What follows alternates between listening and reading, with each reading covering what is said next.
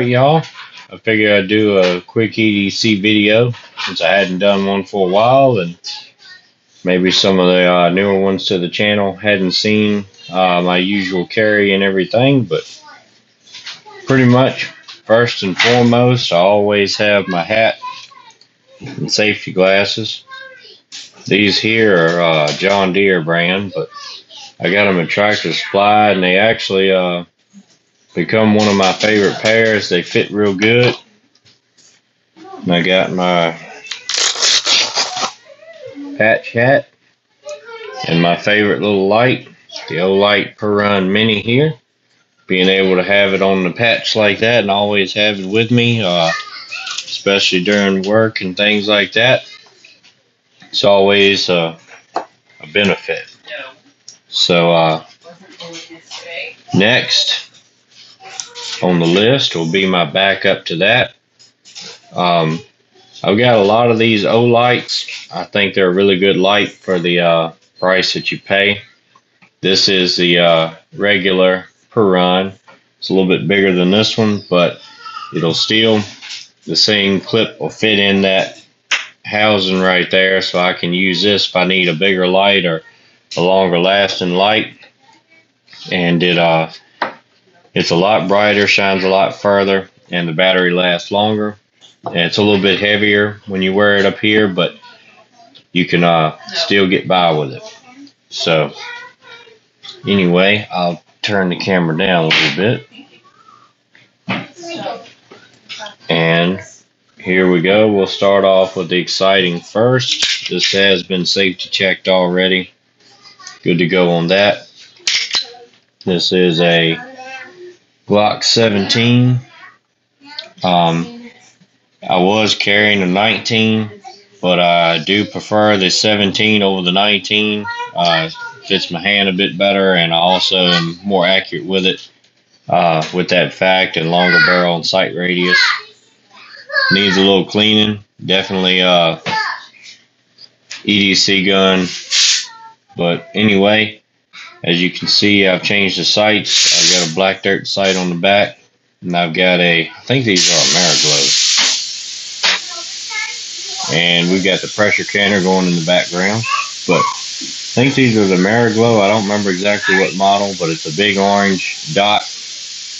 And then the inside dot there uh, glows in the dark. So kind of got a high visibility and night sight in one and I do prefer the black dirt rear over the uh, ones with dots or the standard gold post you want. So then I've got the Olight PL Pro here and I really like this light. I don't remember how many lumens it has and all that, but it's been a tough light. It's got strobe, it's got, it shines for a good distance. It's quick to detach, flip that switch and push it in, comes right off. Rechargeable, all that fun stuff. So, I carry it in this uh, tier one. This is the Aegis Elite, where uh, the magazine holster uh, unbuckles off of here if you want to separate them. I like this holster. It's done a good job held up pretty good. Um, I like it more than the Axis that has the shock cord right here. I mean, both of them flex fine, but I like the snaps being able to unbuckle it, and I think they'll last longer than the shock cord does. But as you can see, we got sticks through a little bit here. This is uh, actually for a 19, but 17 will still fit. It just sticks out a little bit. I'd like to go ahead and get one that's actually just cut for the 17 straight out and be done with it. But anyway, and this is an extended mag uh, holder here. I got the extended so it actually, the magazine sits down in there deeper. Uh, it's more comfortable to carry that way. This is just a cheap uh, phone case from O'Reilly's. It's tough tested brand or something like that clip is not very strong, but so far it hasn't come off of my belt with the way it's made. It's got magnet in it, and it's nice to buckle it. But uh, I was using the OtterBox cases on my phone where uh, it come with the clip that goes on your belt, but the clips kept breaking. Well, not the clip itself, but the little ear on it where the phone sets kept breaking. So pretty much at that point, it doesn't. Uh, you can't use it anymore anyway. And after I went through two or three of them, I decided just to go with something different. Well, next we can move on to this. This is a Skullcandy Dime rechargeable earbuds. I've got one in right now using for the microphone. Uh, they do a pretty good job. They uh, last for a pretty good while to be as small as they are. Uh, they're pretty comfortable. I keep them with me because I use them when I run equipment, a tractor or a chainsaw or something like that. I'll put them in and listen to something and help keep some of the noise down and all. Then just plain old leather billfolder here. Starting to get a little wear on it, but anyway. One of my favorite knives. I've carried this since I bought it, and I don't plan on carrying anything else. Um, this is a Benchmade 940. It's a real good knife. It's real slim carrying in your pocket. It's got good lock, good tolerance, no wiggle in it.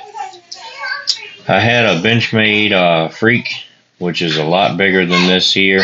It's a real good knife, but I like the way this carries better, being slimmer. And you still got a real good knife and good handle to hold on to without a whole lot of bulk. So, I like that knife a lot. As you see, we're getting normal wear on it. Then just a regular old uh, 511 tactical belt here. Nothing real special about that, but um, I actually like it more than I thought I would, so there's that.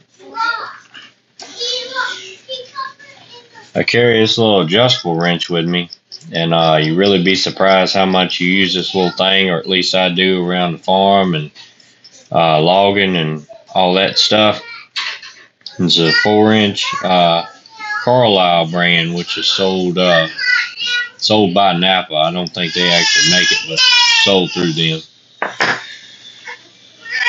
And then I've got this little uh, credit card looking thing here. It's a pocket tripod.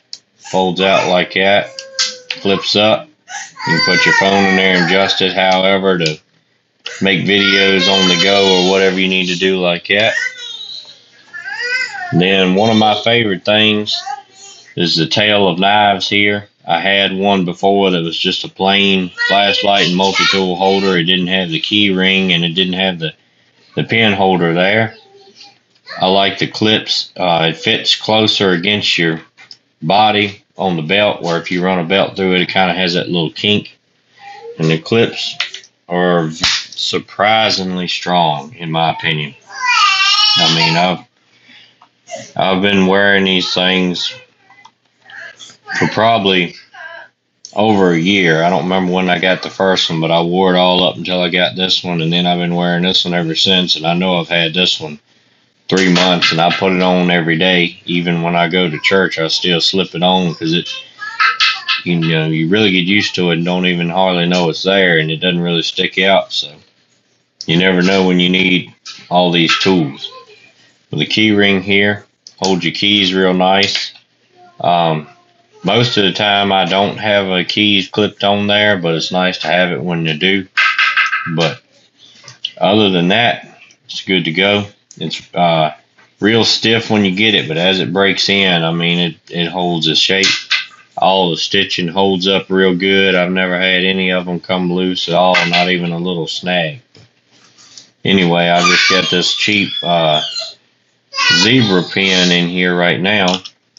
I'd like to have uh, a pen that's a little bit shorter where it doesn't stick out of the bottom there because when you you know bump up against something it'll push it up sometimes it'll knock it out and all that but uh anyway another one of my favorites here is the Leatherman Surge I carried a Wave Plus for a while and it was real good, but this is a little more heavy duty. You got a lot more capability uh, with the pliers and the cutting, especially.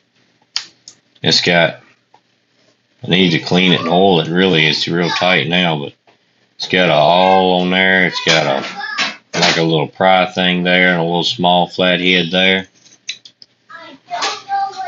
But the main thing is it's got the bit changer here. It's got a flat head on it right now, but you can change it to all kind of different stuff. Can opener. And it locks in place like that there. I've got the uh, bit extender here, which comes in real good handy. a lot of times you can't get the little short part where you need to get, but I haven't got the new uh, thing that they put out, the ratcheting extender, so I don't know how, how well that works, but I've just got the regular one there. It's got two knife blades, which is nice. It's got a full serrated, or pretty much full serrated, and it's got a regular straight blade. So uh, if I had my choice, I like the straight blade, but it's nice to have both. Some big heavy duty pliers. And then you've got the saw over here, which also comes out. You can change the blades there. And I keep extra blades, well, one extra blade here, and also a uh, the file. I've used the file a lot. I actually use that sharpening knife on the square baler when we were baling and had to sharpen it this year. So, anyway, I've got the uh, bit kit with it. I use this a whole lot. It's got most everything I need in it from time to time. It's got the different star designs, screwdriver heads here, and it's got this is kind of a square like bit. But anyway, pretty much most of the time gets the job done.